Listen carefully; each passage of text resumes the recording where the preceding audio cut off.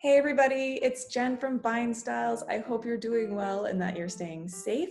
We have another wine for our Friday feature. Uh, this time we're going to be trying a white wine from Bordeaux and actually an area that we don't typically see wines come from. This is Chateau Cailleteau Bergeron. It is from the Blaye area in Bordeaux, so it's actually 40 kilometers north of Bordeaux. Just letting you guys know, if you don't know that much about the Bordeaux region, it tends to be a maritime area, which means that they typically see a lot of rain, uh, that it's very uh, moist. Uh, in that area. Um, I actually have another janky map. So here we have Bordeaux and uh, we're going to be in the green area over here, which is Blaye. And the city of Blaye actually tends to be like right here at the edge near the Gironde River. It's 10 minutes slightly north. So it would be sitting just around here. And in 1991, the Dartier family actually took over.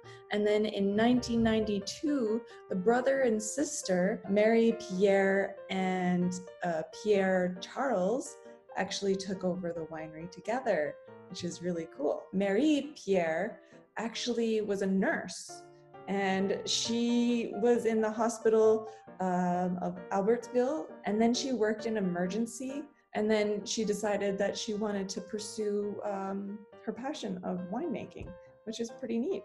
And then her brother, Pierre Charles, uh, he actually has in his oenology uh, diploma from Bordeaux as well. So he actually has been doing this for a very long time, uh, 1989. And since then, he's been working uh, as the winemaker and the cellar master. This wine that we're going to be trying is called Tradition and it's 70% Sauvignon Blanc and 30% uh, Sauvignon Gris. And how many of you have actually tried a Sauvignon Gris? Because I don't think I have. Um, usually, when we see wines, like especially white wines from Bordeaux, we would see a blend of uh, Sauvignon Blanc and Semillon. So I'm going to assume that this wine is going to be a little bit more floral and maybe more fruit forward. They use batonnage, which stirs the lees. And do you guys remember what lees are? It is dead yeast. So when they put, uh, to start the fermentation, they actually have to add some yeast, right? And uh, as it starts to go after the crush and everything, there's little bits of grapes and little bits of um, dead yeast, and it starts to float to the bottom of these big barrels or these big vats.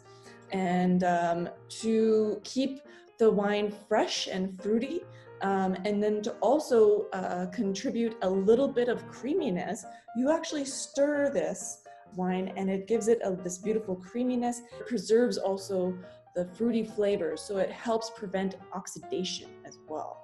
Uh, they actually have their Terra Vitis certification, which, uh, as you know, we've talked about sustainable practices in other wineries. This winery actually has their certification, and I believe they've had it since 2013. This wine, the, the grapes were actually grown on sandy soils, which is really good for those aromatic varietals, right? You get usually see Gewürztraminer and Muscat, and you see Sauvignon Blanc on there as well because it just helps with the aromatics. So before I, I started working at Vine Styles, the brother and sister um, actually visited Vine Styles a few times.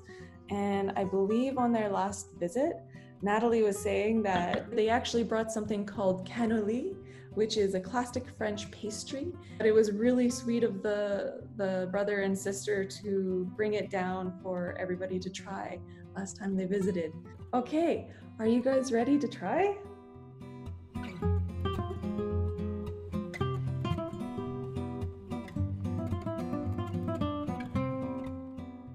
It's just wafting out. Ooh, oh, nice. Oh my God, it's so pretty. Okay, right on the nose, I get lots of grapefruity sort of notes, a little bit of a yellow apple note, some citrus on there, a little bit of I get almost like an apricot sort of note to it as well.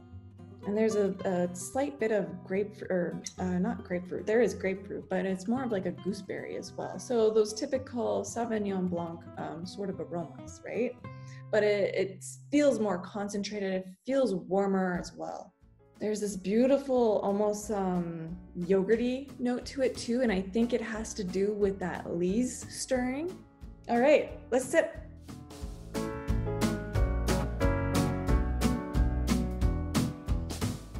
Oh, it's so good. Lots of flavor, lots of flavor. There is so much grapefruit on there. Whoa, I'm still drilling, so high acidity, but it's so balanced. Like that, that, that lees on there is just beautiful. It just wraps it up. Oh my God, this is so good. Okay, so I'm getting some grapefruity sort of notes on the palate, a little bit of like a slight lemon pith, but it's not that um, bitter but it's so soft and it's just so balanced. I get a, a little bit of an orange note, mandarin orange, so good. Um, and there's this beautiful, almost um,